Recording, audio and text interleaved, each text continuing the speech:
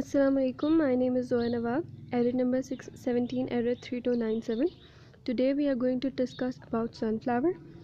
Uh, the sunflower, the whole inflorescence is called capitulum. It is a uh, highly self. Uh, it is a highly cross-pollinated crop.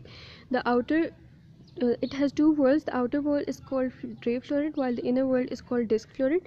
The outer whorl is highly colored, brightly colored, and it helps in self-pollination. This yellow portion is the called pollen, while this is staminal tube. These are florets which are fived and fused in color, while this is ovary. In order to complete selfing, we will cover the whole inflorescence with the help of uh, butter paper or kraft paper before anthesis, and then we will obtain a 100% self plant. For uh, cross pollination, we will remove these pollens with the help of forceps.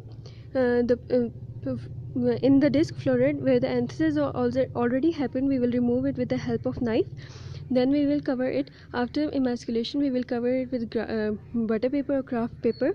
Then we will obtain the uh, we will obtain the pollen from the uh, desirable plant and we will shed it upon it with the help of camel toothbrush. And then we will obtain uh, cross pollinated plant